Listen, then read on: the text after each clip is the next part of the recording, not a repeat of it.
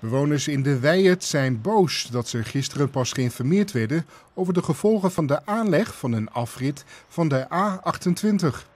De komst van de afrit betekent dat er op enkele meters van een flat en van de Salemkerk een betonnen geluidswal zal komen. Naar schatting zullen ruim 7000 auto's per dag de afrit passeren. De bewoners hoorden dit op een informatieavond die door de projectontwikkelaar is georganiseerd naar aanleiding van signalen van een aantal bezorgde bewoners. Er zijn wat oplettende bewoners geweest in de Weijert. Die hebben de kaarten dus bijgepakt en die hebben eens kritisch gekeken van wat staat er nou eigenlijk te gebeuren in onze wijk.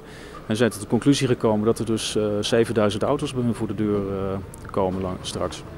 Volgens de bewoners hadden zij veel eerder ingelicht moeten worden. En in dit geval is het, is het schrijnend om te zien dat mensen in de Weijert die van niets weten uitgenodigd worden voor een uh, bijeenkomst. En dan plotseling daarvoor ineens uh, ja, te horen krijgen dat er een, uh, een, een, afrit met 7000 auto's voor hun straat komt. In december wordt het definitieve plan bekendgemaakt.